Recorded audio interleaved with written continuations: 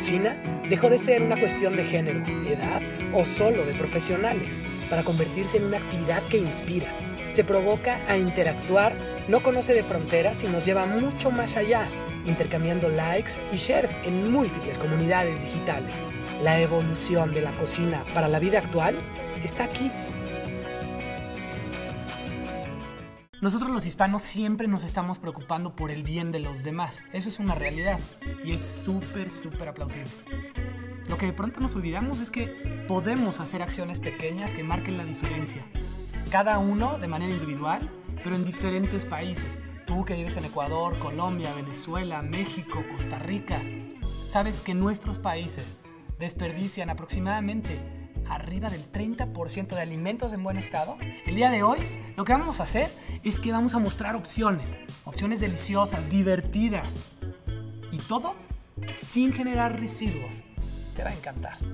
Además conoceremos qué es la FAO y sus funciones a través de una muy agradable plática con su representante en México, el doctor Fernando Soto Vaquero. Doctor Soto, ¿qué es la FAO? La FAO es la agencia especializada de las Naciones Unidas eh, en la alimentación y la agricultura. ¿Y cuál es la misión de la FAO? La misión fundamental de la FAO es buscar y colaborar con todos los gobiernos y con todas las sociedades del mundo en que en el año 2030 el hambre sea erradicada en el mundo.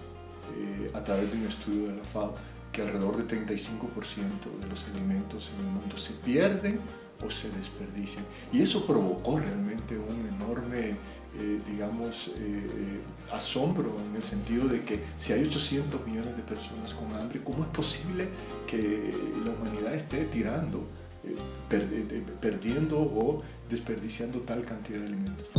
Oye, mira, un genial ejemplo para mostrar cómo se puede cocinar sin residuos desde tu casa es, es cuando cocinas con el apio. Normalmente todos tienden a desperdiciar la parte de arriba del apio, las hojas o inclusive digamos que la parte de hasta abajo.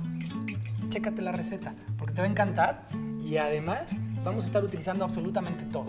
Lo primero, para esta receta voy a utilizar las hojas del apio.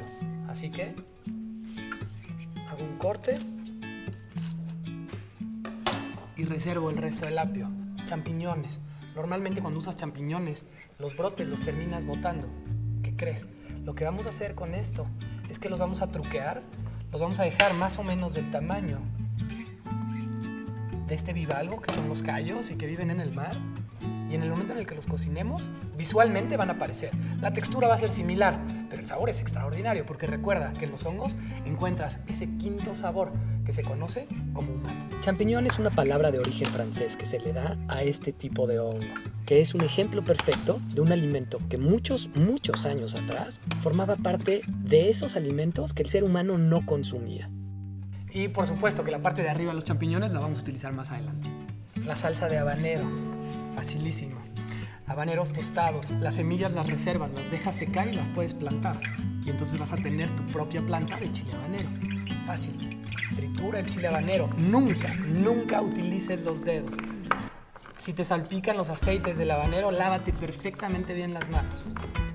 El chile habanero, además de los múltiples beneficios a nivel salud que te ofrece, cuenta con denominación de origen.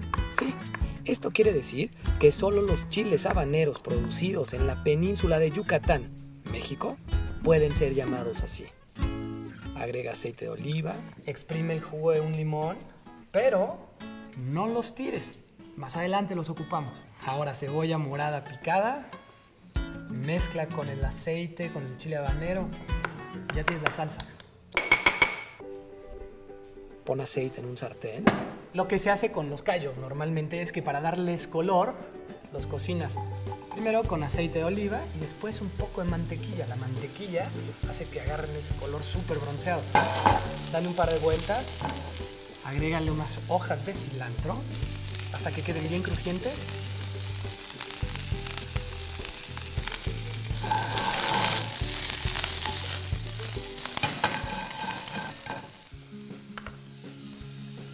guacamole en la base. Y ahora, la diferencia. La diferencia entre este guacamole y el guacamole tradicional es que vamos a utilizar las hojas del apio. Las hojas del apio le van a dar una potencia de aroma impresionante a este guacamole. El apio te ayuda a desinflamar las articulaciones y a evitar dolores musculares. Al mismo tiempo, es un relajante natural. Sirve los tallos de los champiñones encima.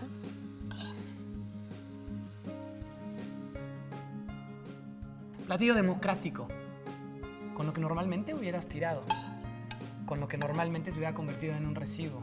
Ponle la salsa a tu gusto y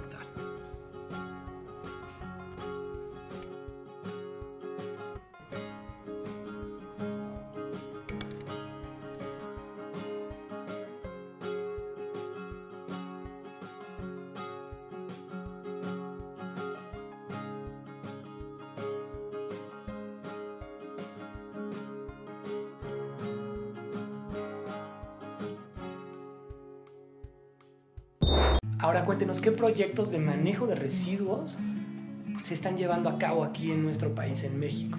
En México, entre los proyectos de cierta envergadura que están siendo llevados a cabo son los bancos de alimentos.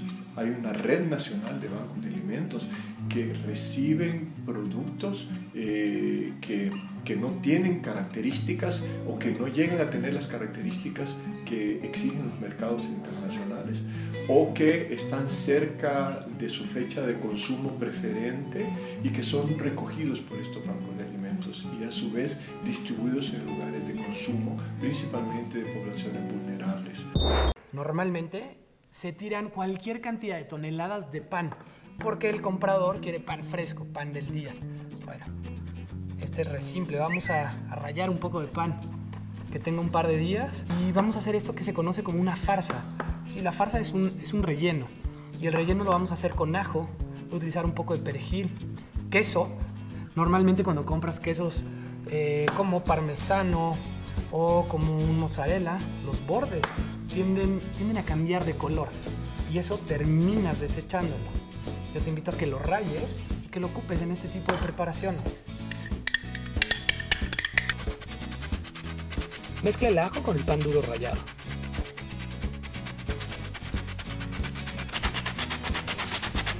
Un poco de mantequilla. Creo que nos hace falta un poco de hierbas aromáticas. Puede ser perejil, hojas de perejil picadas, unas gotas de jugo de limón, los bordes del queso y estás armado. Aquí van los bordes del queso también rallado. Mira, otra cosa que sucede con las hierbas aromáticas, en el caso del perejil, es que cuando van cambiando de color, también las desechas. En este tipo de preparaciones no hay problema que haya cambiado de color. La otra opción es ponerlas en una charola, arriba del horno, en algún lugar seco, y entonces vas a tener perejil seco, pero no lo deseches. Pica el perejil y exprime medio limón.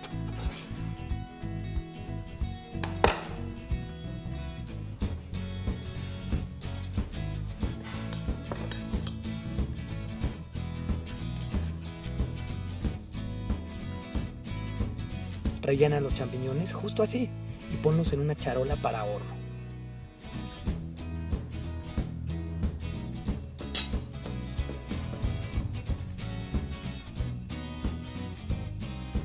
Agrégales el aceite de oliva y a cocinar.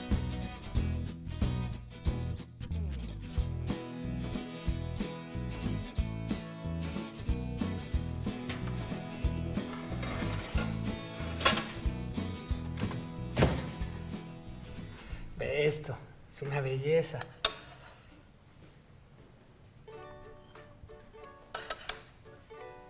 Sirven un plato grande para llevar al centro de la mesa y que cada quien vaya tomando de uno en uno estos deliciosos champiñones. Una entrada práctica, deliciosa de sabor y sin generar residuos. Y este, este viene para acá.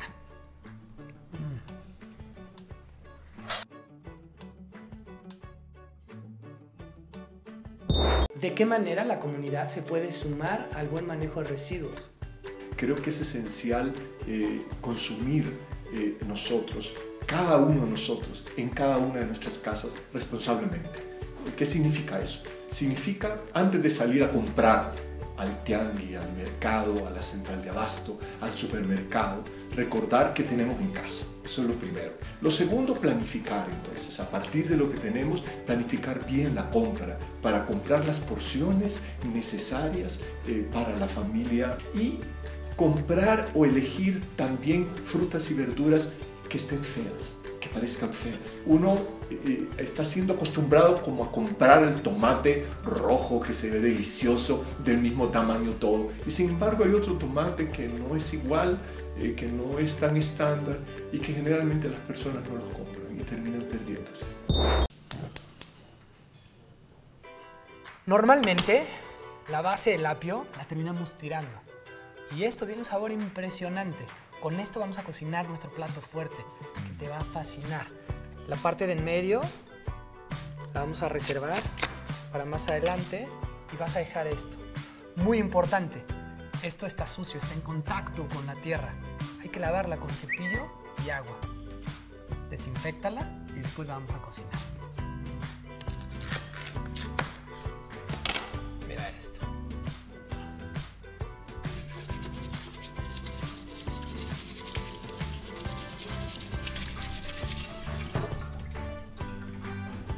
Ahora en una olla, un poco de aceite. Agrega tomates. Nuevamente un poco de hojas de apio, bien, bien picadas. Ajo picado. Y ahí vamos a cocinar la base del apio.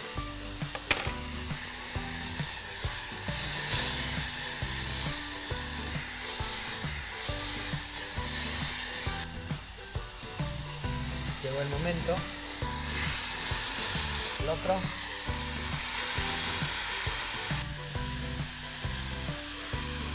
Ahora, para que la cocción suceda, esta parte es bien fibrosa. Para que la cocción suceda, agrega un poco de fondo de vegetales, puede ser de pollo o de res, cualquiera de los tres funcionan, inclusive de pescado. Y por último, vas a agregar esto, que es una maravilla de producto y es súper, súper accesible. Germinado de lenteja. El germinado de lenteja lo haces tú. Lo único que necesitas son lentejas puestas en una charola y que éstas queden cubiertas con una toalla húmeda. Así, de 18 a 24 horas después, estas habrán germinado y el sabor es buenísimo. Tan pronto llegue o rompe el primer hervor, llega a ebullición, retíralo del fuego de aquí y llévalo a cocinar al horno a 160 grados centígrados, 45 50 minutos, hasta que la base del apio esté ligeramente tierna.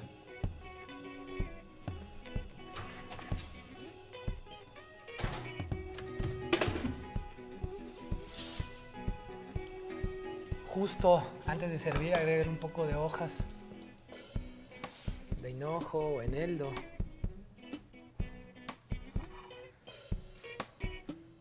Comienza poniendo el germinado lenteja abajo.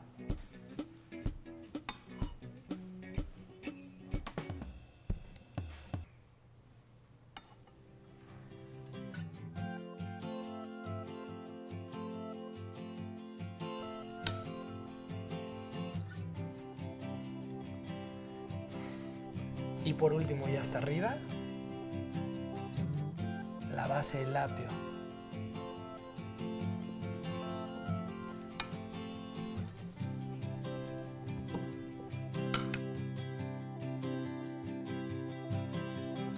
Esto es cocinar sin residuos.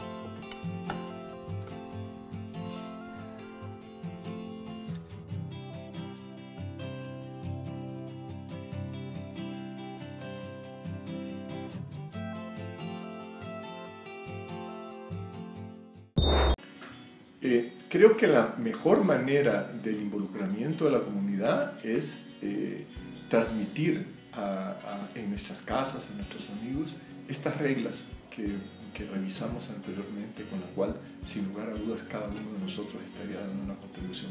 Y diría que cada uno de nosotros en cada casa haría una contribución inmensa si lo hiciera.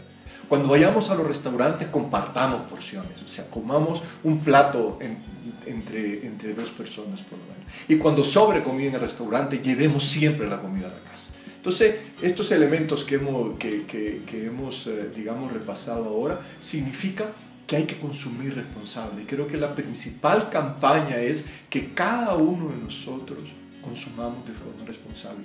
Le enseñemos también a los niños, a los jóvenes, a que tengan eh, de, pequeños, con, digamos, eh, esta, este, esta actitud hacia un consumo, digamos, responsable, porque con eso eh, realmente yo creo que es la forma más clara de reducir desperdicios.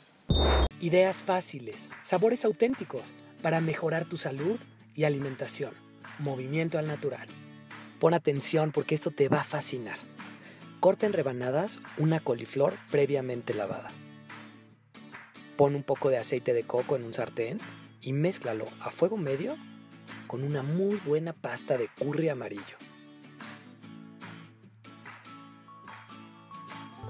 Cocina las rebanadas de coliflor en el sartén con el curry amarillo.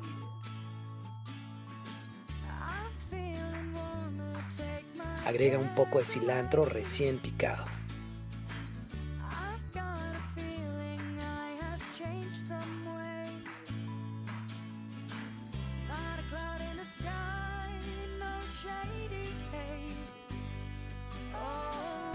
Uf.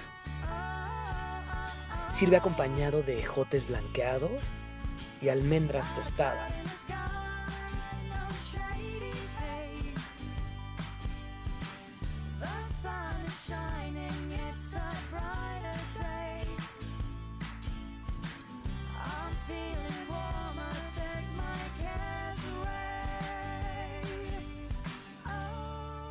Movimiento al natural. Mira, para la última receta de hoy, lo que tengo aquí es lo que normalmente hubiera terminado en la basura. Limones exprimidos, las hojas que no terminé de utilizar y, por supuesto, esta parte de los sapios que normalmente también se tira. Lo que vamos a hacer es un agua, pero el agua la voy a endulzar con algo que hace aproximadamente 10 años era un residuo y me refiero a esto que ahora está muy de moda y es la miel de agave. La miel de agave se extrae de las pencas del maguey horneadas una vez que han sido utilizadas para producir tequila, por ejemplo. Y ahora es un producto que se vende alrededor del mundo y que está sucediendo aquí en México. Los tres lugares en donde se generan más desperdicios en Latinoamérica son restaurantes y hoteles, por supuesto, escuelas y supermercados está complicado si no tienes restaurantes poder hacer algo, pero tú hoy desde tu casa puedes, puedes influenciar, cocinando de esta manera y preocupándote, pasando la voz. Y cuando tomes decisiones de compra, fundamental, ver cómo se están haciendo, de dónde vienen esos productos que tú estás comprando, si están beneficiando, a qué comunidades están beneficiando. Ahora, voy con la receta. Pongo literalmente los limones que ya tenía exprimidos, van para adentro, agrego agua de coco, que el coco es un ejemplo perfecto de un producto del que se usa absolutamente todo y que en Indonesia lo vienen haciendo desde hace muchísimo tiempo. Utilizan la cobertura para generar utensilios, utensilios de cocina, bases, em, tazones y por supuesto la parte de afuera, el como pelito del coco, se puede utilizar para generar calor como fuente de calor y el aroma es impresionante. Por supuesto, la pulpa se come y el agua, el agua está aquí.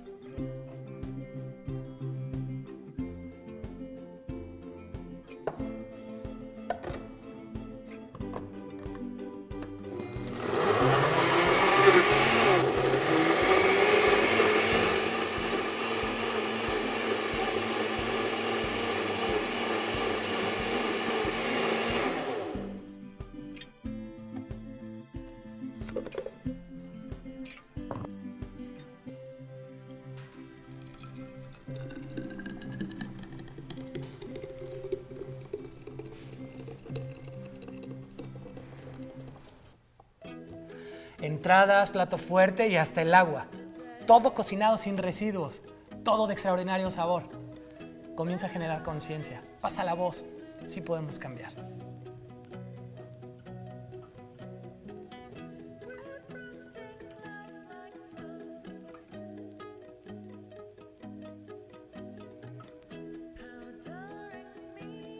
Promesa cumplida. Cocinamos sin generar residuos. Te invito a que repliquemos los ejercicios que están sucediendo, por ejemplo, en Francia. Sí, ese en el que los autoservicios ya no generan residuos o son multados. Y que esos alimentos que normalmente iban a la basura terminan en bancos de alimentos, sirviendo a personas de escasos recursos. Nosotros los hispanos somos extraordinarios. Sumémonos a estas acciones desde el lugar en el que vivimos. Cocina sin residuos.